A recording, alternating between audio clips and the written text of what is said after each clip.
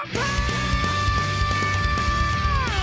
Hola, soy Bash y hola amigos, bienvenidos una vez más a nuestro canal. Y bueno, el día de hoy, como podrán ver en el título del video, hablaremos sobre uno de los mangas que hemos añadido recientemente al canal. Así es, estoy hablando de One Punch Man. Pero como ya muchos sabrán, el manga está teniendo algunos problemillas de redibujo y varios cambios, de los cuales me gustaría hablar en un video adicional. Pero bueno, dejen su like si les gustaría que hablara de todos estos cambios del manga. Aún así, en el video de hoy les traigo una teoría muy interesante que involucra a dos de los seres más poderosos en la historia de One Punch Man. Así es, estoy hablando específicamente de Dios y Blast. Pero bueno, antes que nada doy la advertencia de que manejaré algunos spoilers del webcomic para los que no estén al día. Y bueno, ahora sí, sin nada más por añadir, comencemos de una vez. Y primero que nada es necesario presentar a los dos personajes que manejaré en esta teoría, primeramente comenzando con Blast. Así es, mi primera teoría es que Blast es Saitama. Ok, no, este es un tema algo controversial, pero bueno, díganme si les gustaría que lo analicemos alguna vez, aunque en este video no hablaremos al respecto. Ahora sí, Blas es el héroe profesional de clase S rango 1 de la Asociación de Héroes. Actualmente se desconoce su paradero y solo pocos miembros selectos de la Asociación de Héroes tienen los medios para comunicarse con él. Hablando respectivo a su apariencia, se nos ha dicho que tiene cabello, efectivamente, por eso no puede ser Saitama, bueno, ya no hablaremos de eso. Y lleva un traje de héroe con una capa similar a la de Saitama, aunque a diferencia de su traje tiene un contorno de llamas alrededor de su cremallera. Hablando más específicamente de su poder, se puede suponer que Blas es un héroe de clase S extremadamente poderoso, ya que la misma Fubuki menciona que él es el que está en la cima de todos los héroes. Además de que se hace la comparación de que Blas en términos de poder es muy similar a King,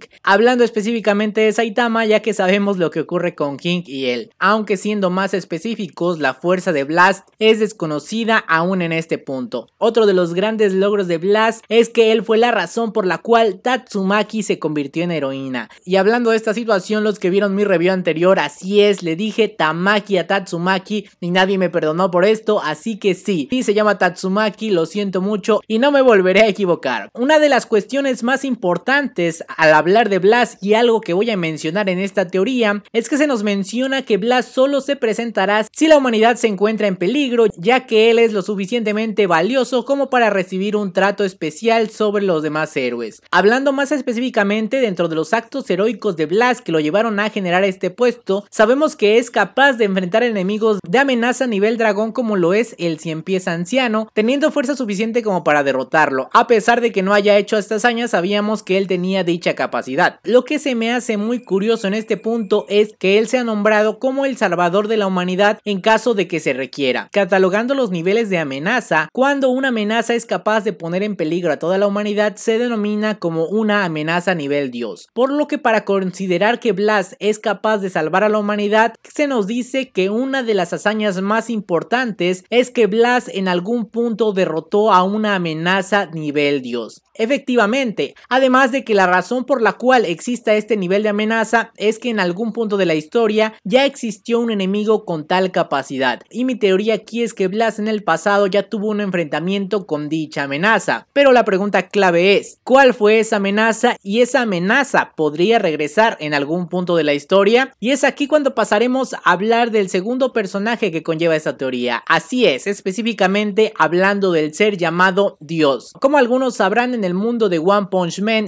existe un ser denominado Dios del cual aún no sabemos mucho aunque ha tenido ya algunas apariciones. En su primera aparición Dios parecía una ráfaga de viento con garabatos que delinean a una persona construida. Además Psychos describe a Dios como una reminiscencia de la superficie de Júpiter con innumerables puntos en espiral. Durante su segunda aparición en la mente del emperador sin hogar parecía una gigantesca figura humanoide hecha completamente de carne y hueso sin rostro, aunque se desconoce si esta es su verdadera forma física. Hablando en términos de poder, la verdad es que no estamos muy seguros aún de su poder, ya que como les dije, esta criatura o este ser es un misterio todavía. Lo que sí sabemos es que este ser tiene la capacidad de otorgar poder a otras entidades. En este caso, como ya lo mencioné, al emperador sin hogar, ya que su poder proviene del mismísimo dios. También fue capaz de ayudar a Psychos en cierto momento para obtener ese nuevo poder. Hasta el momento se desconoce la cantidad de personas a las cuales él puede otorgarle poder al mismo tiempo. Otra de las cualidades que observamos de este personaje es la incursión mental, ya que es capaz de entrar en la mente del emperador sin hogar y comunicarse con él. También fue capaz de cambiar libremente la apariencia de su proyección en su mente. Al parecer este mismo ser también ha intervenido a la hora de potenciar a otros seres, como puede ser el caso del mismo Vaccine Man, o bueno, podemos llamarlo Picoro también, pero en términos generales él se ha dedicado a otorgar poder a ciertos entes con el objetivo de que causen ciertos problemas, siendo su objetivo claro acabar con la humanidad, aunque hasta este momento no lo ha logrado. Y ahora sí comenzamos a teorizar un poco acerca de este ser. Si realmente es tan poderoso y,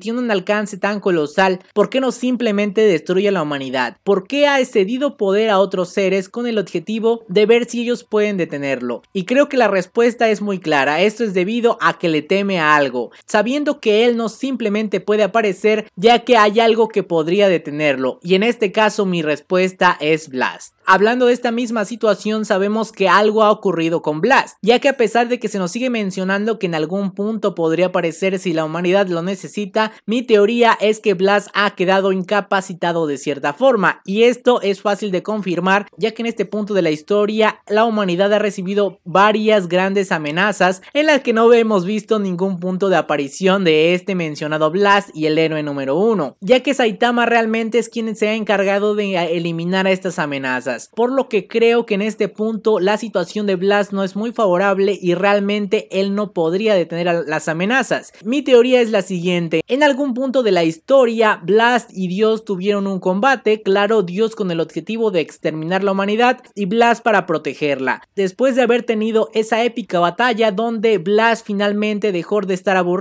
ya que sabemos que Blast tiene una personalidad bastante similar a la de Saitama, teniendo los mismos ideales de que es un héroe por simple hobby, además de que también debido a su enorme poder podría llegar a aburrirse. Yo creo que Blas finalmente logró tener su batalla definitiva contra este mentado dios, teniendo como consecuencia la pérdida de poder de Blas y que haya quedado inhabilitado, pero aún así con la derrota de Dios. A pesar de todo esto, él no murió, sino que se estaba preparando para su venganza contra este ser. Ante el retiro de Blas, la Asociación de Héroes habría tomado la decisión de encubrir este evento, debido a que la humanidad quedaría totalmente expuestas si se llegara a enterar que Blas se ha retirado. Es por eso que tomaron la decisión de decir que Blas aparecería en cualquier momento si es que la humanidad lo requería pero esto simplemente es la fachada que utiliza la Asociación de Héroes para así tratar de protegerse de las amenazas. Debido a que la existencia de Blast es del conocimiento público, ya que sabemos la fama de los héroes clase S, es por eso que mientras Blast siga existiendo, por lo menos en presencia, ellos se sentirían seguros, llegando al grado de confundir al mismísimo Dios, y es por eso que él estaría determinado a descubrir si lo que decía la Asociación de Héroes era cierto o realmente Blast se había retirado retirado. Aunque claro, Dios, al no estar seguro de lo que ocurrió con Blast, en este caso el objetivo de Dios es crear una amenaza a la cual ningún héroe sea capaz de detenerla y forzar a la aparición de Blast si es que realmente sigue ahí. Cuando se confirme que realmente Blast nunca va a aparecer es cuando Dios haría su movimiento para finalmente acabar con la humanidad. Aunque hasta este momento cada amenaza que ha creado Dios ha sido detenida pues por Saitama y su grupo directamente y es por eso que aún no ha hecho su movimiento final. No, no lo sé, díganme ustedes qué les parecería, si tienen alguna teoría respecto a lo que le ocurrió a Blast y por qué no ha aparecido hasta este punto en la historia y también si Dios será el enemigo definitivo y si es correcta la razón por la cual no ha aparecido. Pero bueno, de acuerdo con esto va a llegar un momento en que Saitama descubrirá a Blast y cómo es que él ha perdido su poder definitivamente, por lo que tendrá que tomar su lugar y finalmente acabar con el mismísimo Dios. De hecho, algo que se me ha ocurrido es que directamente